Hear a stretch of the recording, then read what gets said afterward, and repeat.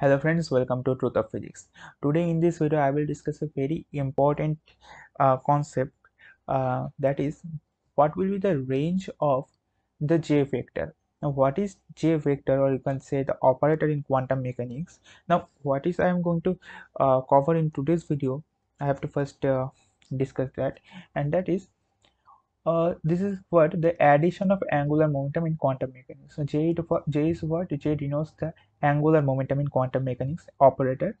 And uh, when uh, we uh, just add add two angular momentum operators like J1 and J2, uh, then we'll get an another angular momentum, total angular momentum. This is the addition of the two angular momentum J1 and J2 now what will be the range of that angular momentum that is let us understand with an example what i'm going to discuss in today's video. That is suppose you are given j equal to j1 equals to half and j2 equals to half suppose.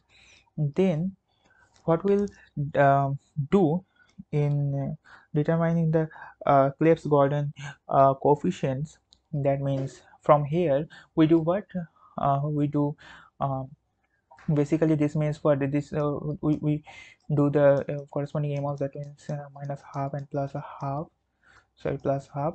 And for this also the m2s will span from minus half uh, to plus half minus half and plus half. Now the addition of these two that means the j the j this this means not the simple add simplest simple uh, algebraic sum that means we know that in quantum mechanics all every operators uh, can be uh, expressed as uh, matrices right? Now this matrix now this matrix is of order 2j1 plus 1 we know. How? I will discuss uh, after some time. And this j2 will be 2 j2 plus 1 the order the um, dimension. Its dimension is 2j plus 1 and its dimension is 2j2 plus 1 that means if this is a m cross m matrix this may not be an m cross m matrix. This may be a n cross n matrix. Suppose for different values of j1 and j2 so this can these two cannot be add simply. This is not a normal uh, addition of two matrices. Okay this is a uh, representation. Okay this is just a uh, representation of adding two uh, angular momentums in quantum mechanics. Okay now okay now here the addition will form the j vector total angular momentum and it will span from j1 minus j2 to j1 plus j2 that means this is the minimum of j mean you can say and this is the maximum of j. That means j max. Now how it becomes that? Means when you do the calculation when you do the problems to determine the Clebsch-Gordan coefficients uh, then what we do then we just uh, find this thing and the uh, corresponding um, total angular momentum or the addition of the two angular momentums which we call the total angular momentum j uh, it will span from j1 minus j2 that means from 0 it will take value from 0 and 1 these two value half minus half 0 and half plus half 1 now for this value of j so this will the values of j. For this you will get m equals to 0 and for this you will get m minus 1 0 and 1 now we'll get the total thing like uh, j1 j2 um, j1 j2 and j and m like this state to be what? Uh, this this state we will get this state by just using half half and uh, zero uh, these all things will be included right in the in this form. So what i am going to discuss in today's video is how this thing comes how it spans spans from j1 minus j2 to j1 plus j2 right? Like likewise uh, we can say that m, m takes value what? From minus j to plus j right? M takes value from minus j to plus j. What i am have discussed here. Uh, here you can say that it it is for minus j1 is what? Minus a half to plus j. That means a half. Likewise the total angular momentum the addition of the two angular momentums will span from the difference j1 minus j2 to the addition of the individual angular momentums now how this happens how can we mathematically prove it and understand all the um, subtle things behind these things uh, we'll discuss in this video. Now i will discuss each and every step uh, detailedly in this video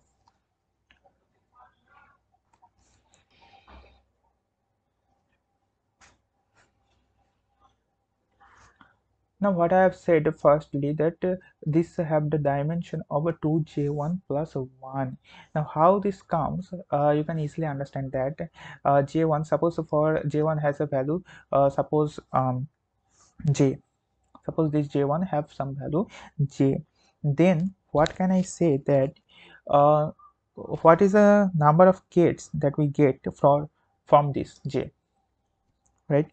That will be simply 2j plus 1 number of kets will get. How? Because the states will be like that.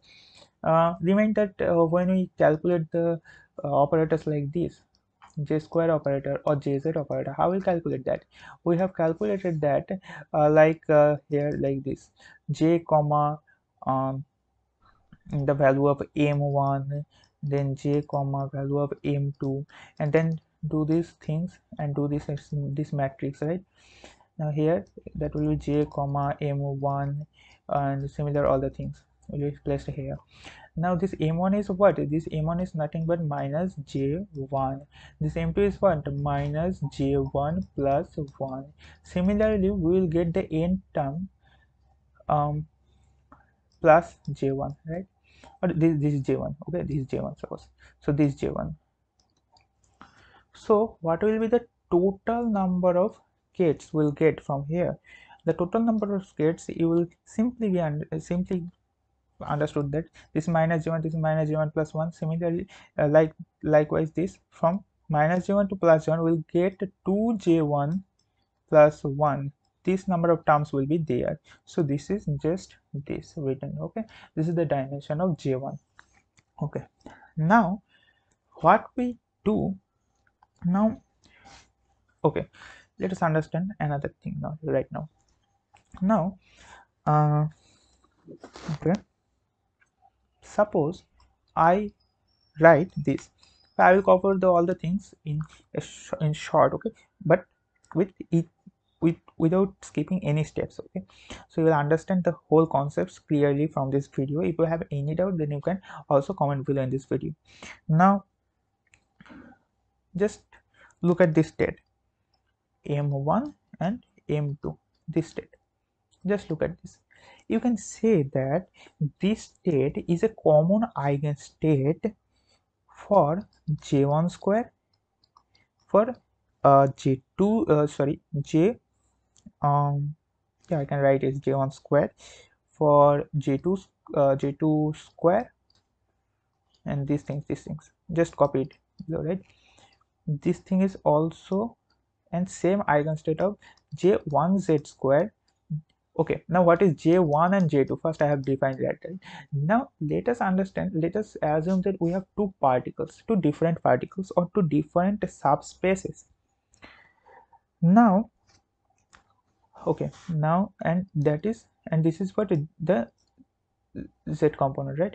Now uh, j j2z now all these four things all these four operators all these four operators have the same eigenstate this all the four uh, operators that means i can i can say that all the four operators as this form or all, all the four operators form a complete set of commutating operators they can thus be jointly diagonalized by the same states. They can be jointly diagonalized by this same state. That means simply i can say that this state this state right this state is a common eigenstate of all these four operators right? Why? We can say that only when each of these terms commute with each other. Now you can say you can easily understand here uh, sorry sorry not these terms each of uh, each of these terms will commute with each other. Now you can easily understand that um, wait.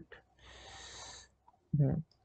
this term oper, uh, commutes with this term because we know that j square and jz commute. Then obviously j1 square and j1z square will commute one set will commute right? Similarly we can say that j2 and j2z will commute now these two are thing these two things are very easy. Now is j1 will commute with j2 will that happen? Yes because the two particles are different or we can say that uh, they, uh, these j1 and j2 belong to two different subspaces. So as the two subspaces are different so you can easily uh, make the measurement of the two states right uh, simultaneously. That means uh, there is possibility of or you can say that there is a, there is a common eigenstate of these two state these two operators right?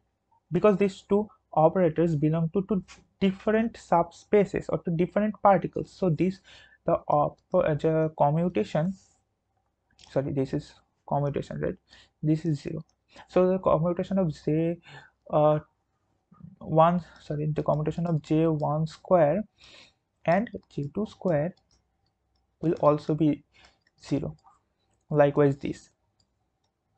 This is also 0 so all each and every term will commute with each other. So you can say that this is a common eigenstate of this four operator. So i can write j1 now j1 now what is this mean? J1 this is a just a representation which just represent uh like this.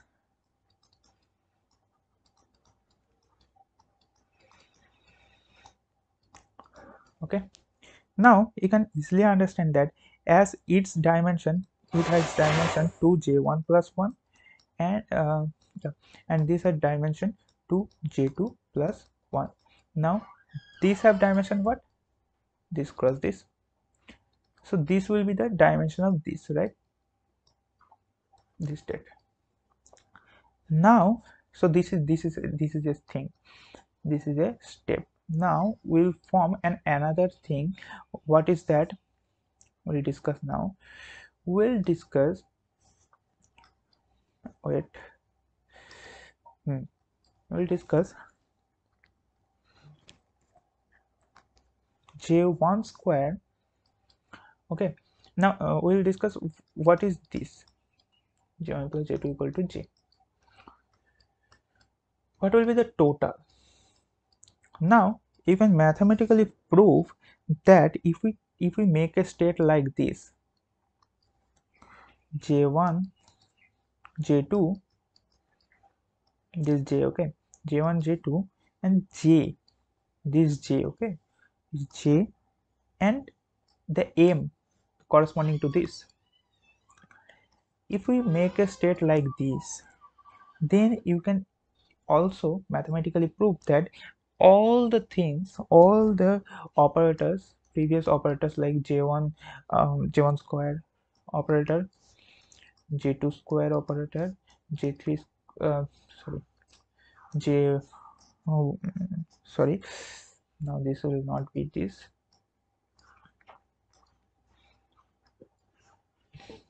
one minute. This will be um, this j square because now it is j. So j square operator and jz operator right? These all three things will also be described with an common eigenstate this right? This this uh, this can be a common eigenstate of all these things because these things will also commute with each other again. Now we are ready to begin our main topic.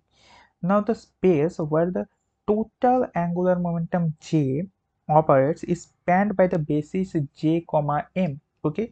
The space okay? The space where uh, the total angular momentum j operates is spanned by the basis this is known as the product space. Product space. Now this space is known as the product space okay? Now this space is just same as our previous space right? Like j1 j2 m1 m2 which i have discussed um, previously. This space this space. Why? Because these two spaces are just the same because we are defined like that. J is equals to j1 plus j2 so these have dimension what? We have discussed that these have the dimension of this. That means this will also have the dimension of this. That means i can write like this um, i can write like this summation j equals to j minimum to j maximum okay 2j plus 1 which is equals to which will be just equals to our total or the dimension of this that means 2 j1 plus 1 2 j2 plus 1 now why this becomes? Because uh, we have discussed previously that this have uh, dimension of this. That means j comma m. This uh, have this total number of eigenkets okay. Now we can say that um, when we discuss that j1 comma um, suppose j1 comma m. Right previously i have discussed that these have dimension of 2j1 plus 1 and similarly for j2m uh, that was uh, 2j2 plus 1 this right? But uh, so okay that was that was very that was clear.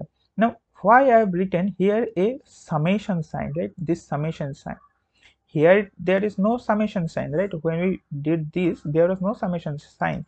But here why there comes this summation sign? For the total of j. This is the what this is the dimension of 2j1 plus 1 is the dimension of j total j. Now why i've used the uh, summation sign? Because we don't because uh, actually j is formed with j1 uh, vector plus j2 vector right?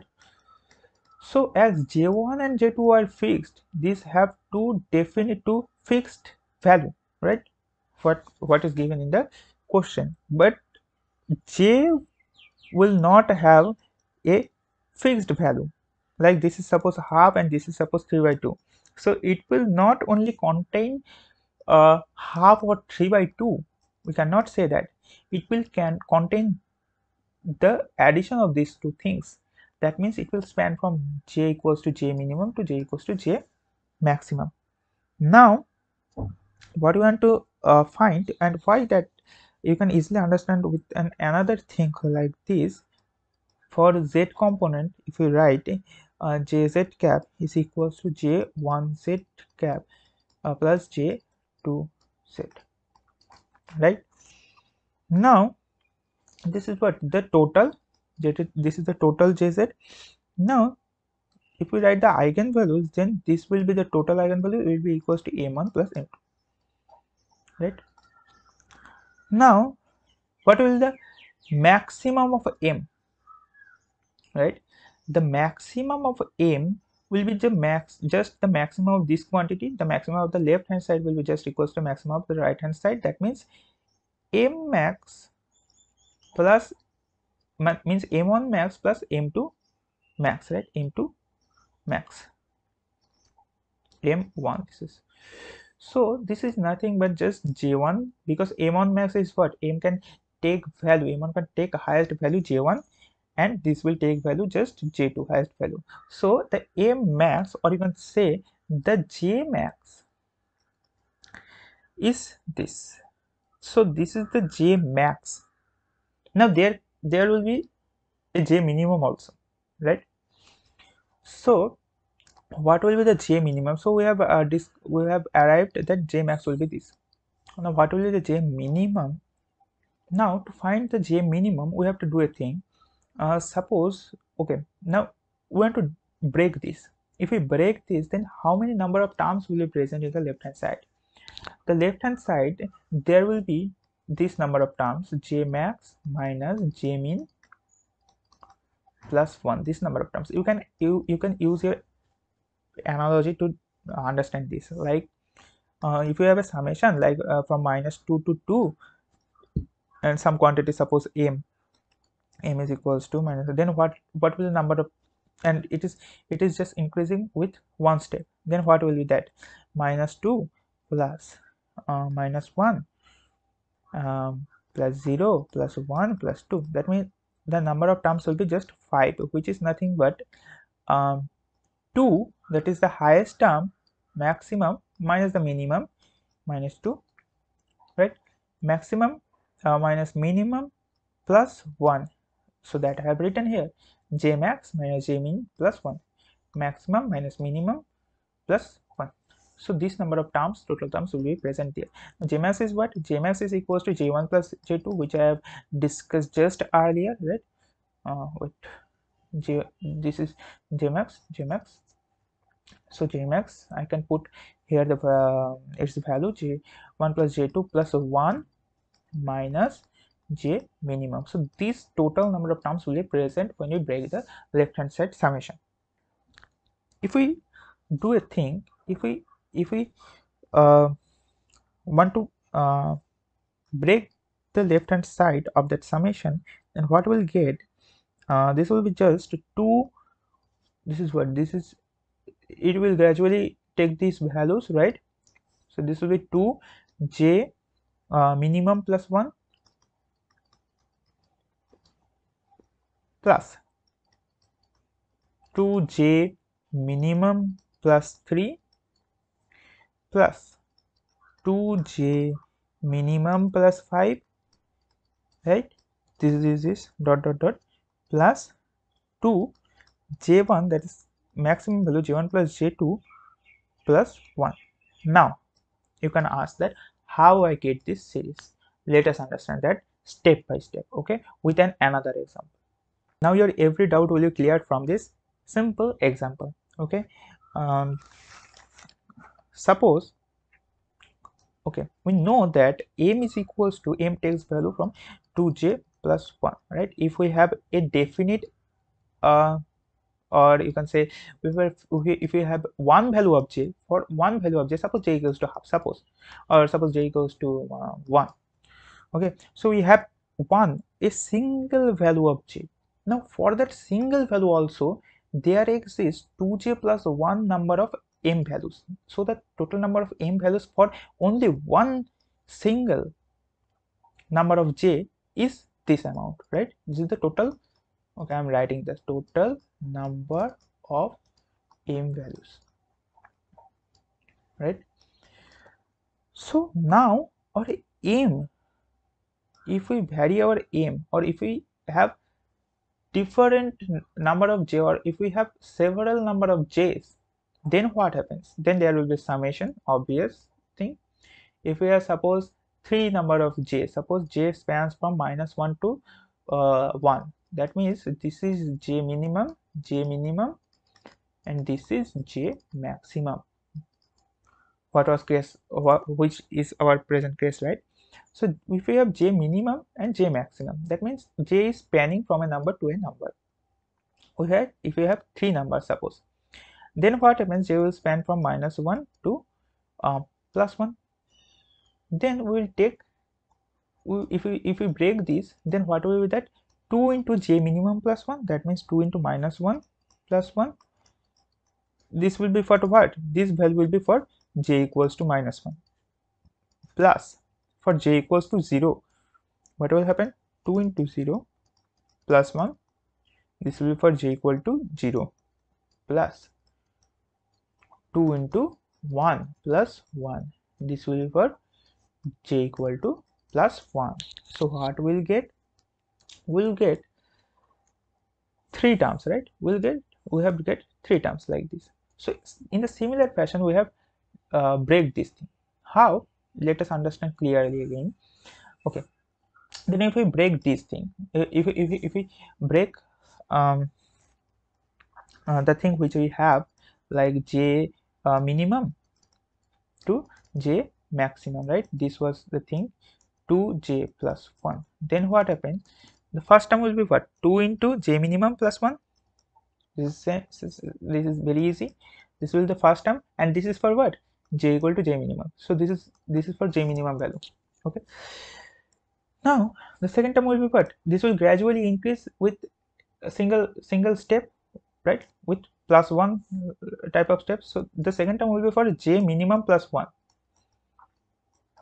which is zero here right? Minus one plus zero. So this is this is like you can say this is for zero term. Or this, this is with, uh, with, the, with similar to this example this is for zero this is this is this term right this term will be here. So just we have to put 2 into what I have put here. Just this value. So I have put in the general term j minimum plus 1 plus 1 there will be plus 1 another. That is for this this thing. So this I have put here.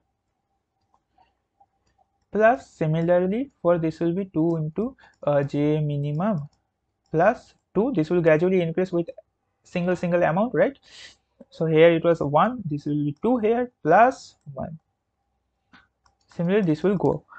So what we'll get? You can easily understand that if you break this then 2j minimum plus 2 plus 1 so plus 2 plus 1 will be just 3 that is just this. 2j minimum plus 3 and this is what? 2j minimum plus 2 2 to the 4 and plus 5 plus 1 is equals to just a 5 this. So similarly you will get this is what this is for j maximum.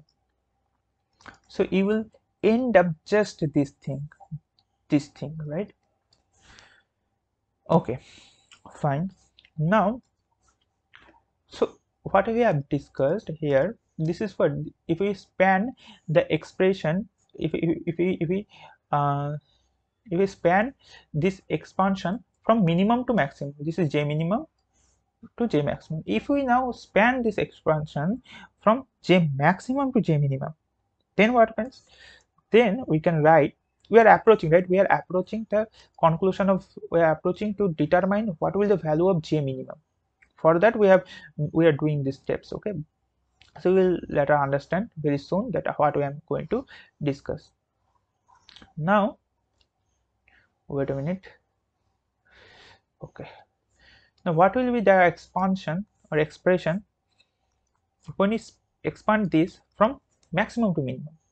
That means that will be just 2j1 plus j2 plus 1 this is the last term of this series this thing. Plus similarly you will get 2j1 plus j2 um this will be minus 1 right? Similarly we will gradually decrease down and end will get um, 2j minimum plus 1 this thing. Now just do the addition of these two series step by step. That means this term and this term add add this term and this term this this this. Then what we will get? We have uh, let us understand that. So if we add these two things you can easily understand that from here 2j1 this will be 2j1 plus uh, 2j2 right? 2j1 plus 2j2 uh, and plus this one and this one will be 2 so if we common the 2 that will be j1 plus j2 plus 1 right? Plus j minimum value. If we take the 2 outside then that will be just j minimum right? Similarly from these you will get like this 2 j1 plus j2 plus 1 plus j minimum.